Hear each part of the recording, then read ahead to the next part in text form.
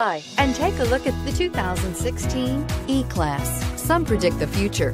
We prefer to build it. The Mercedes E-Class is an impressive ride, very smooth and punchy, and is priced below $25,000. This vehicle has less than 45,000 miles. Here are some of this vehicle's great options. Dual airbags, air conditioning, leather-wrapped steering wheel, four-wheel disc brakes, electronic stability control, CD player, tachometer, brake assist, panic alarm. Take this vehicle for a spin and see why so many shoppers are now proud owners.